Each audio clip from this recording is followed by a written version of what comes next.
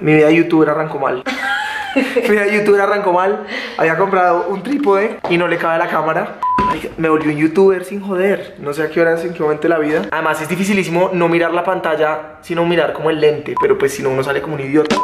Mañana voy para Lima, no he hecho maleta. Eh, yo siempre hago maleta en la mañana. Se me está cansando el brazo tenaz. Esta vida de youtuber es muy dura. Me encontré acá con el señor. Joven Tulio, Con por favor. joven Tulio. Salud. Estamos en la sala de la TAM porque nos vamos a ir a hacer un recorrido muy interesante con María José, contigo, y con la gente de la TAM y con la gente de Prom Perú. Nos vamos para Lima a descubrir eh, sitios para comer. No solamente restaurantes pupis, también vamos a estar De en todo. las calles, un poco de diversión, un poco de deporte, buenísimo. Eso me emociona a mí a veces más. Una vez se encuentra unas joyas en las calles y en los rincones Claro.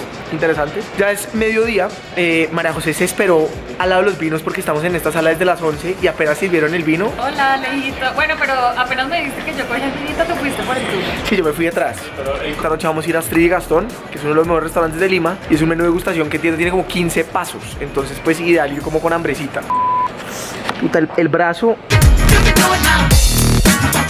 Acabamos ya de llegar a Lima. La señorita María José logró que todo el avión aplaudiera. Yo no sé si estoy orgulloso, si estoy como apenado. Vamos a ir a Astrid y Gastón.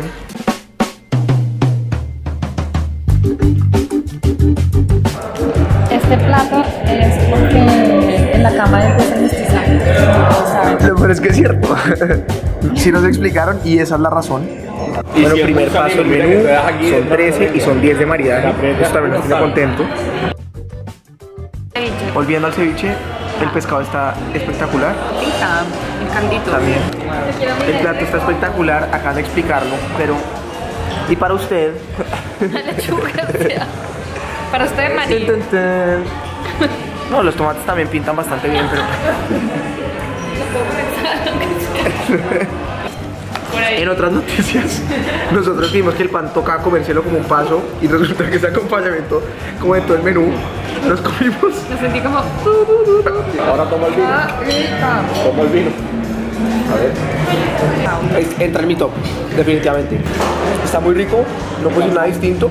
A mí me encantó, pero es que el cuy me tenía en un nivel muy vasto. No era ir a pasto y vainas, como que no. Magnífico. Magnífico. Esto es lengua. Está rica, pero siento que estoy besando apasionadamente una vaca. Muerta.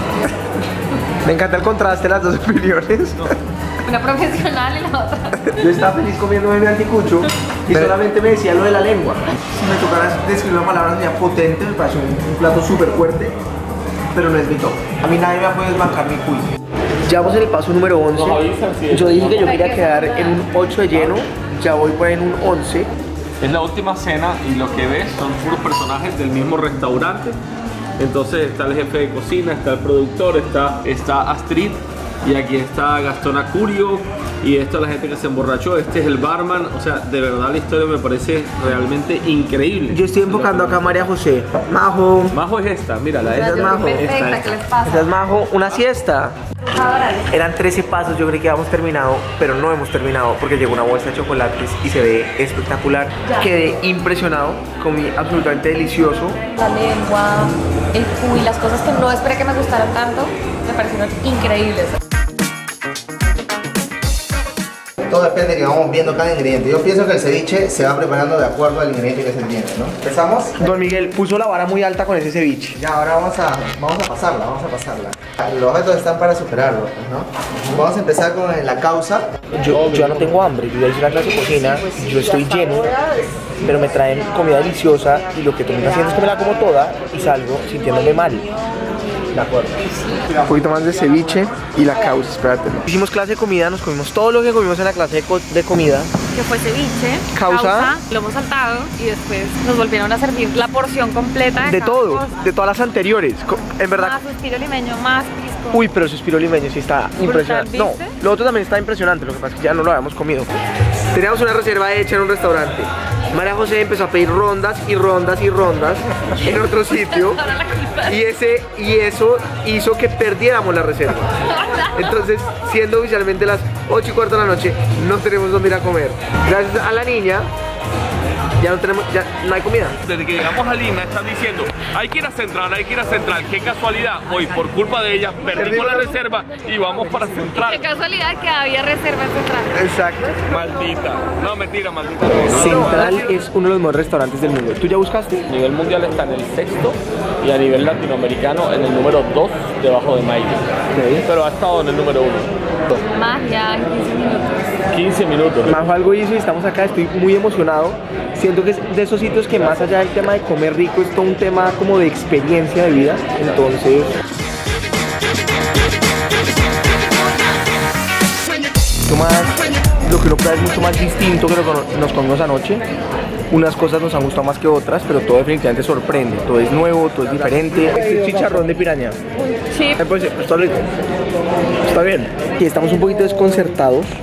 Eh, yo no venía preparado para esto. Yo me imaginé, no, no sé ni qué me imaginé, pero todo el trabajo detrás es bien interesante. Todo lo que uno prueba no había probado algo parecido. Vamos a desayunar sándwich de como de cerdo, de chicharrón. Chinito, sanguchería.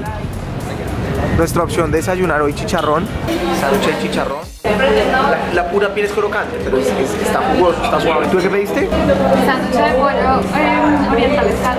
Obviamente, cusqueña, Inca Cola. Bueno, ya saben, es saludable desayunar sa- sándwich de chicharrón con cerveza. Vamos para Taberna Isolina. Era el restaurante al que íbamos a ir el día que fuimos a Central, que María José nos hizo perder la reserva. Pero muy tradicional, pero, pero todo digamos que hecho de la mejor forma. Eh, entonces tenemos expectativas. Comimos muy rico, un sitio muy tradicional, eh, muy casero pero todo impecable. Un, un, asado de tira súper, súper suave con una salsa que le da todo el sabor. Entonces, pues sí, ha sido mi gira por Lima. Pasamos absolutamente delicioso. Gran, gran parche. Eh, los sitios que nos recomendaron y que, organizamos, creo que, que le pegamos a probar cosas muy diferentes. Eh, pero pues muy bien escogido todo.